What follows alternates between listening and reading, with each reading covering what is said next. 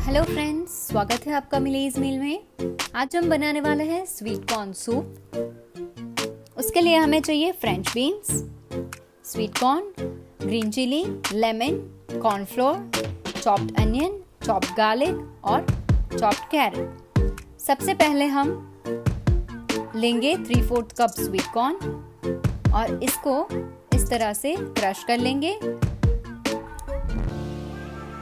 अब हम उस क्रश किए हुए मिक्सचर को इस तरह से स्ट्रेन कर लेंगे।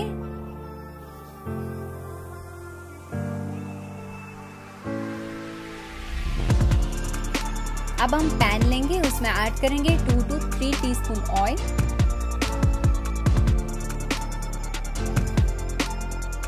उसमें ऐड करेंगे one tablespoon chopped garlic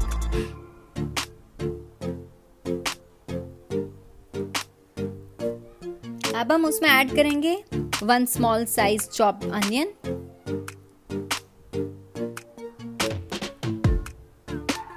one fourth cup chopped carrot one fourth cup sliced French beans और two two three green chillies अब इसको अच्छे से सौते कर लेंगे। अब जो हमारा स्वीट कॉर्न का प्योरी है, वो हम ऐड कर देंगे। और थोड़ा सा पानी कंसिस्टेंसी के लिए। अब हम ऐड करेंगे one fourth cup sweet corn और थोड़ा सा salt one fourth teaspoon bell pepper powder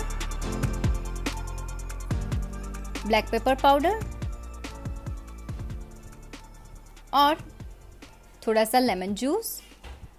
अब हम कॉर्नफ्लोर और वाटर ऐड करके स्लरी बना देंगे और वो उसमें ऐड कर देंगे। इसको अच्छे से मिक्स कर देंगे और बॉईल होने देंगे। देखिए, हमारा सूप कुछ इस तरह से गाढ़ा हो चुका है। तो रेडी है हमारा स्वीट कॉर्न सूप अगर आपको हमारे वीडियोस और रेसिपी पसंद आए तो चैनल को सब्सक्राइब ज़रूर कीजिए। और एक लाइक तो बनता है ना, आप हमें अपना एक्सपीरियंस नीचे दिए गए कमेंट सेक्शन में ज़रूर शेयर करें। Eat healthy stay healthy